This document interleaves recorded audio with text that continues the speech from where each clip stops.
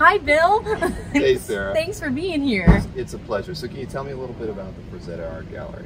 So the Frazetta Art Gallery is open seasonally. We're open for the month of February and part of March. And right now we've changed it into the art exhibit of James Martin and George Pratt. This is our first show featuring other artists who were inspired by Frank Frazetta, and there will be many more to come.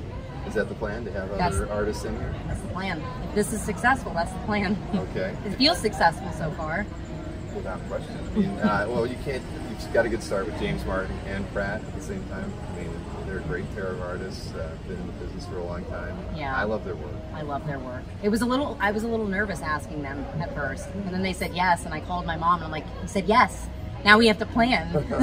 so now, now it feels like everything's, you know, we're, we're good, we're going, the stress is gone now. So If anybody's coming to town, is it always by appointment only, or are there fixed hours when people can guarantee that they can walk up and come into the museum? it's a great question. Um, I would recommend still emailing me at museum at um, because times could vary, but we will be open from the 13th till the 26th every day Okay. for this exhibit.